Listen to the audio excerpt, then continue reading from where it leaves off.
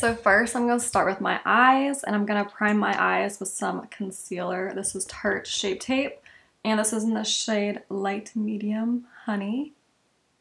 I'm just going to put some concealer to hide my veins and to create a nice base for my eyeshadow. I'm not going to do any crazy eyeshadow today. I'm going to a brunch with some coworkers. So I want it to be just like simple brunchy makeup. Just like a natural, neutral eyeshadow look. Which really is the new trend now. And like I said, if you know my channel and you know me, I love eyeshadow. It's my favorite makeup. Um, and I really do like to embrace a more natural eye look, you know, because you can like see your true eye shape and whatever, but I do love eyeshadow. I always will love eyeshadow and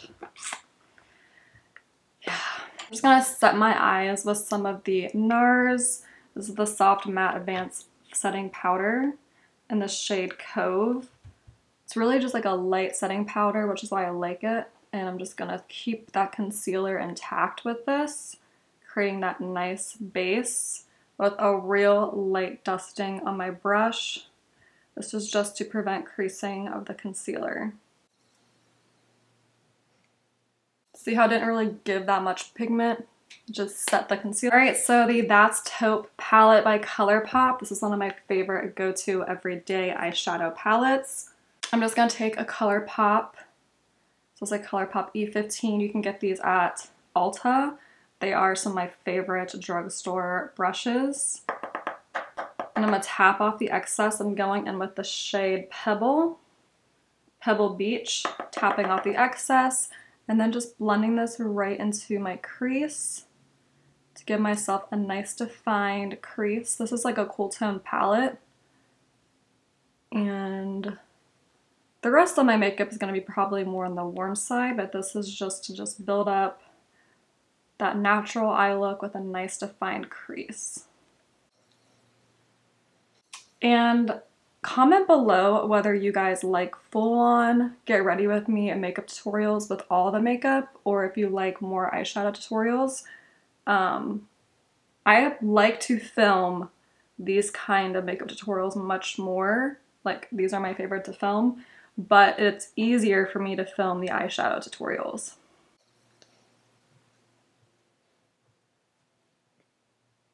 All right, so blending out my crease, trying to make sure that they're even. And then whatever happens out here, I'm just gonna clean up with foundation. When I film my eyeshadow tutorials, usually I do my eyeshadow last because I kind of want all the imperfections hidden because I'm like super zoomed in and everything. But um, whenever I'm just doing my makeup just me, I don't do my foundation first. Usually. Sometimes I do, it just really depends. I have a German Shepherd Husky and she always sits on my bed, which is like right beside me and just like stares at me the whole time doing my makeup. It's so cute. All right, so I have this nice defined crease. Next, I'm going to so next I just want to take a brush like this. This is the Ariel A20. I love Ariel's brushes. And I'm going to go with my favorite shade, Maple. It's this really warm matte brown and I just love it so much. And really going with the light hand as I can.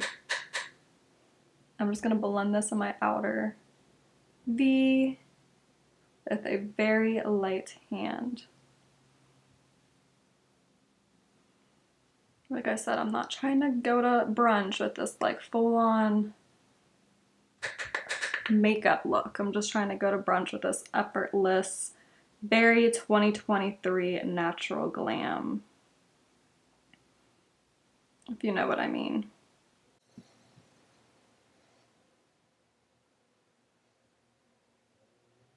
Blending it in like that. It's actually way darker than what I planned, but you know what?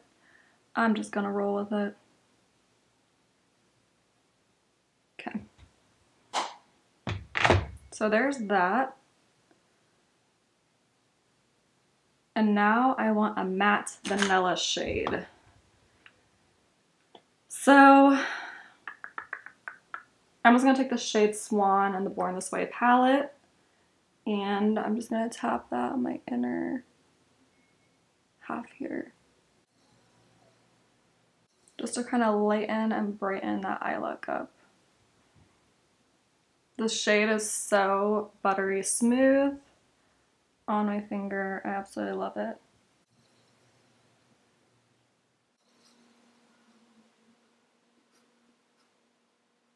You know what? That looks pretty good. No, I like the way that looks so far. It just looks like a natural, you know, like bridal glam. So we're gonna go in with Glowtion by L'Oreal. I love this stuff. I definitely prefer my L'Oreal Glowtion over my Charlotte Tilbury Flawless Filter. I know it's an unpopular opinion. I just don't like it. And it's funny because so many people like it and I really just don't understand the hype. I want to try the e.l.f. one because I heard it's like just as good or like not just as good, but you know what I'm saying, like better or like the same thing. Um, but this one, I just like the Glowtion more. I don't know. I like the feeling of it more and I just think it's more affordable because it's something that goes like under your foundation. And for me, if I'm gonna spend, I think it's like 42 or $46 on something, it's not gonna be something that goes under my foundation. You know? Like a concealer, a blush, a highlighter, something like that is so much more noticeable and important in the makeup look versus something like this that goes literally under your foundation to just give you a nice base and glow. I mean, look at that. That's drugstore glowtion. So, love it. All right, so now I'm gonna go with a full coverage foundation. This is the KVD Good Apple. Um, I have a review on this on my channel. You know, you know. I've been using this like every day and it's literally like to there. Because that's how much like little you have to really use. I usually use two pumps. Today I'm using three just because I'm to be out all day and it's, you know, Florida weather is starting to kick in with this humid spring hot days. I wanted to go with my NARS concealer and conceal my imperfections, but I forgot. So maybe I'll do that on top of my foundation, but this foundation's pretty good at covering everything. All right, so next I'm gonna go in with my JH Morphe brush. I'm just gonna blend this in.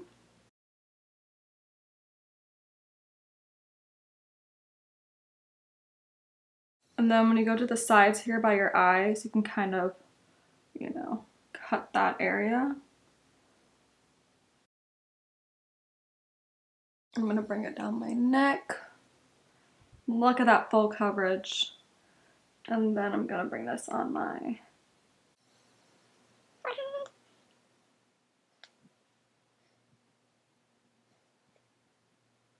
I mean, look how nice that just like blended in.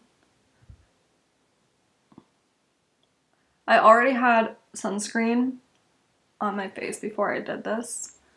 I am going to be out in the sun today at brunch. We're probably going to be sitting outside, so I want to make sure I have sunscreen on because I am using that new um, retinol called retinoid. You need a prescription for it, and it's really been helping my skin. Okay. So, next I'm going to go with some NARS concealer. This is in the shade Light 2.2. This is the soft matte concealer that you can just like, I mean, everything's pretty much concealed with that foundation. But I am just going to pat in. I have like a broken blood vessel over here. Oh, my blemishes are all hidden. Because that foundation is amazing. So, that's all I'm to do with that. And now I'm to do some concealer. I'm to go back in with the Tarte Shape Tape Light Medium Honey shade. I'm just to put a few dots here. I'm trying to do less concealer. I usually wake up at 4.30 in the morning and go to work, so I have major dark circles. So I need that like long lasting full coverage concealer, like a Tarte Shape Tape concealer. But if I'm not, if I don't have dark circles and I'm not waking up that early, I try and do as like as little as possible. So I'm just gonna blend that out with a sponge. I try to do brush, like blending out concealer with a brush, but I find that when I use a sponge, it really picks up a lot of the product, which leaves me with this really smooth under eye versus a brush because it like, you know, doesn't pick up the product as much so you get more coverage, which is why I like to do my foundation with a brush because I feel like I get more coverage and I'm not wasting my foundation, but I like to do my under eye with a sponge. I try to do with a brush. But as you can see, right here, I got some of that concealer in my inner corner. So I'm just gonna go with a brush and just try and like make them even there. Kind of mad now because I just don't know what I did. Whatever. I got concealer like by my eyeshadow, but it's okay. I always try and be careful there, but it's just that my eye is shaped. It's like hard to. Okay. And what am I gonna do for my under eye? Some of my one size translucent powder. And I'm gonna go in with my L'Oreal A14. The really light dusting and just like pat. So I don't want to like pick it up and move it around. I mean, I've watched so many videos about like under eyes and like what to do with this part, you know, but I just have these natural like wrinkles there. I've had them my whole life. My eyes are like protruding, so it's normal for your your this lid to have like like it sticks out more. And so I always am going to have creasing. Like there's nothing that's going to stop that. It's just the anatomy of my eye and I've accepted it. Like I don't, those wrinkles have always been there. There's nothing I'm going to really be able to do about it unless I'm older.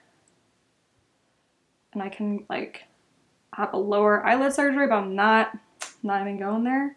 But I'm just saying that I've accepted it. So it's just like I have to find out what works best for me when it comes to setting. Because I feel like when I hear these advices about setting the under eye that just don't work for me because my under eye, like the really nice hydrating serums, like the NYX one, yeah, my under eyes could never. That's way too like lotiony, like I need something that's just gonna like, you know. I don't even know what I'm trying to say, but I just, some products, so I'm selling my whole face with this, but some products I just need um, them to be like thicker not serumy, like the one by NYX. I have never tried it on my eye. Maybe I should try it before I start speaking about it, but I tried it on my hand in the store and it's so, and it's one that everybody loves and it's so like serumy, but I just feel like I know how deep my under eye wrinkle creases are. And I feel like if I use something like that, it's just really gonna like emphasize it. But I guess I can't say anything until I actually try it but I'm just gonna set my entire face with this powder.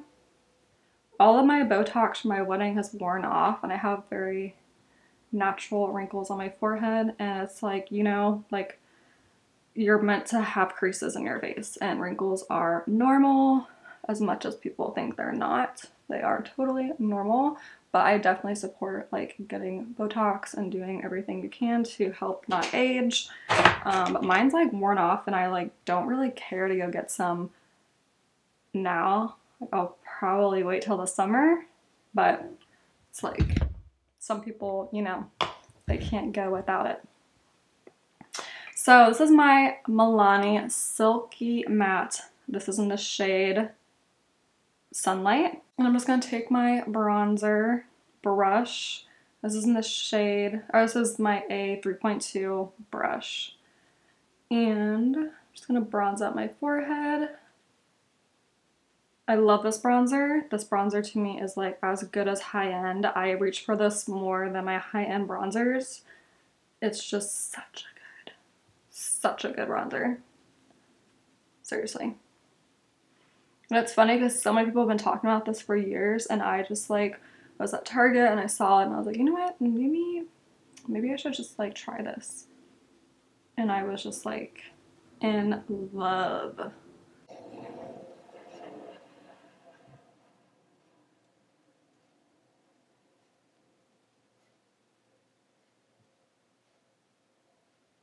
And just like that, you know, blends out like a dream, such a good color, I love it.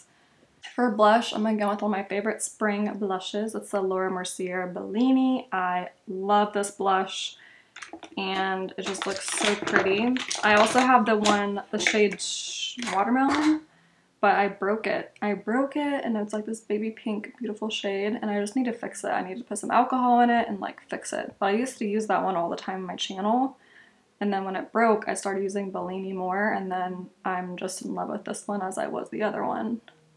But, so I put it on like the sides of my face. It's where I like to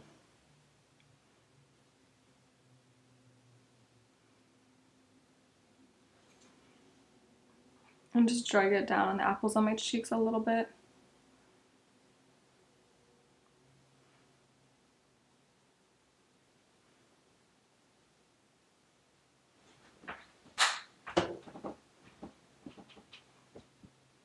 Such a pretty like orange tone corally blush.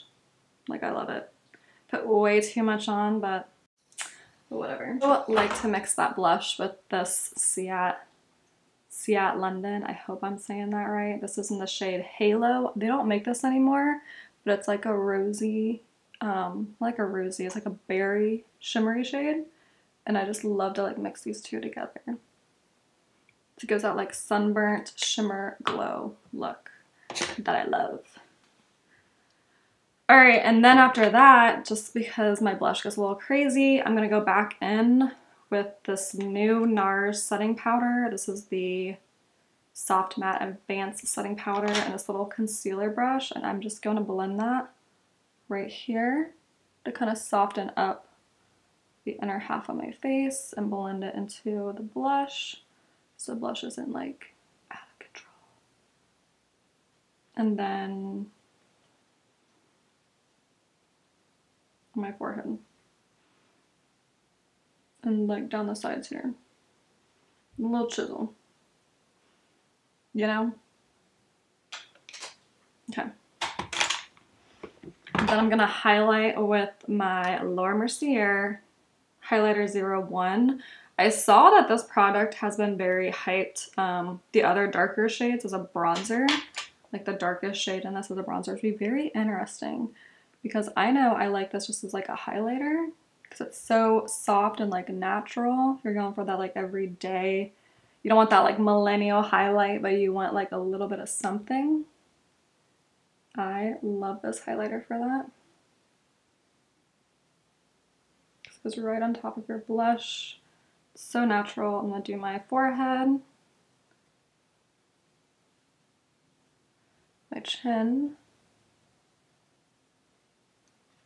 So for my nose contour, I'm going to go in with this ginormous chocolate Cocoa Contour Too Faced palette. I'm going to go with the light contour shade, it's that gray tone. And I'm going in with this brush by Luna Magic. It's just like a flat, you can see that looks like that. And I'm gonna go with the light contour shade. Tap out the excess. I'm just gonna squeeze it and then run it down my nose and create a contour.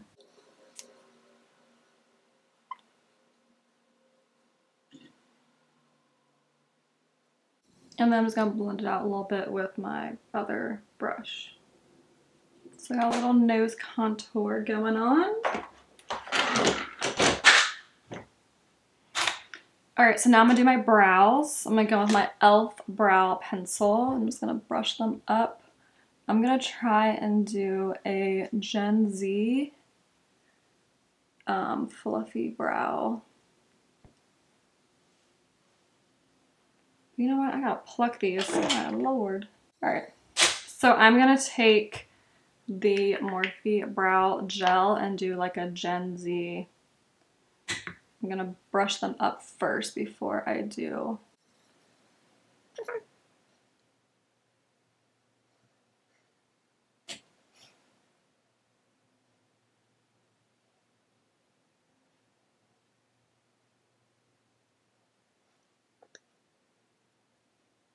like that. See how they're so fluffy now? It's almost like I don't even need to go in with a pencil. But I'm just gonna let them dry.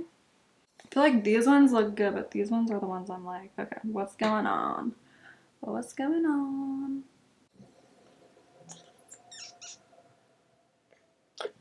So I'm just gonna let those dry before I go in with a pencil. I'm just gonna finish up the eye look. I'm gonna take a small detailing brush I'm gonna go back in with that Laura Mercier highlighter in the shade 01 and I'm just gonna highlight my inner corner.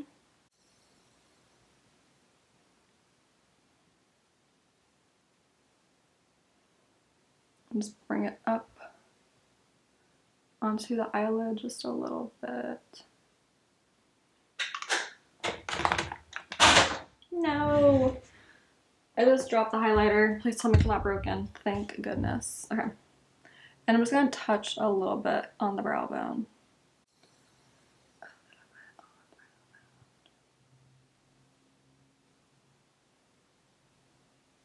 Okay. Then I'm going to take that, that shade I like called Maple Honey. Oh, sorry, Maple Honey. What am I saying? Maple and the Too Faced Born This Way palette like a really small brush like that. Just something that I can go on the bottom lash line with. This is a Luna Magic brush. And I'm just gonna line my bottom lash line.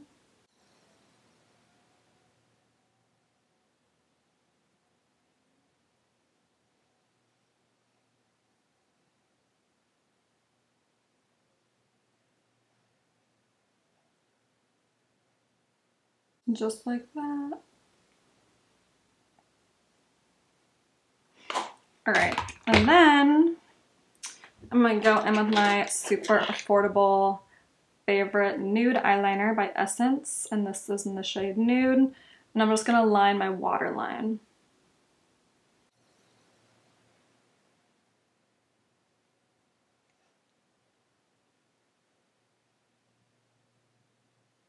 And actually, I'm gonna go ahead and do my lips. Favorite lip liner is the shade um, Natural by NYX, but it's downstairs in one of my purses.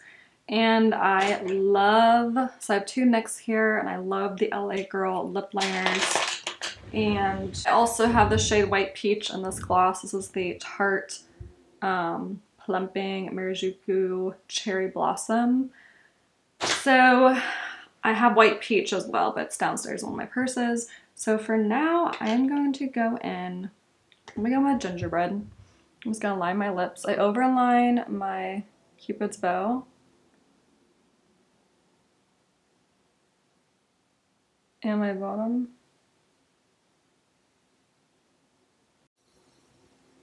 And the sides.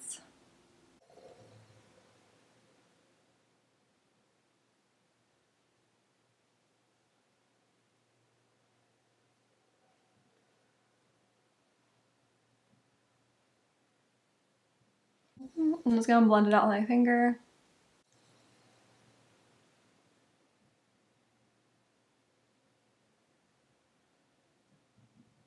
Sometimes I like to put lipstick on, but I'm just gonna go in with the gloss. This is the Cherry Blossom Gloss.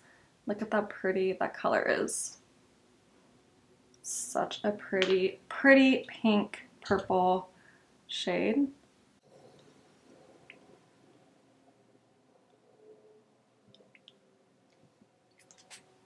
And so for my setting spray, I always like to go with my Milani Make It Last, but that is like literally almost empty. Oh, I'm gonna go with my Morphe setting spray. And I'm just gonna like shield my eye. And then when that's like 50% dry, I'm just gonna take a sponge with nothing on it and just press it into the skin.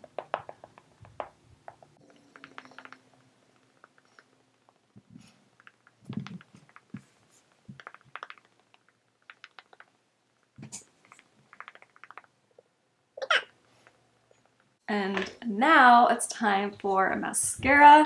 Lately, I have been loving the e.l.f. Lash and Roll, my favorite. I'm taking my very affordable eyelash curler and I'm going to curl my lashes. I have a whole video on like my lash routine because lately people have been complimenting my lashes and I have changed up a few things and really am embracing my natural lashes.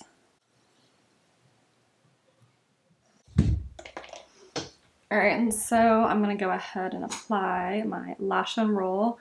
I mean, look how great that wand is.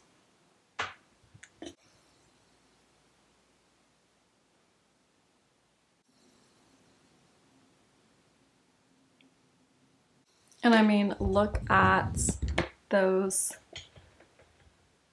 I mean, look at those lashes, you know? Like, that is Lash and e.l.f. Mm-hmm. All right, so now for my brows. I usually don't do a fluffy Gen Z brow, but I will. So now that they are stuck, I'm gonna just brush them a little bit more up.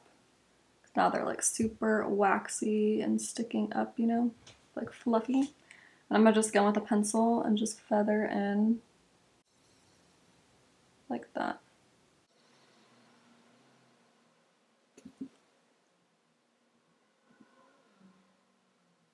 And I'm just gonna take my brush and brush everything up. So it's that fluffy Gen Z brown. All right, guys, that completes this look. This is my brunch every day, very 2023, no makeup, makeup, clean girl makeup look. Thanks so much for watching. Be sure to subscribe, like, and comment, and I'll see you in my next tutorial.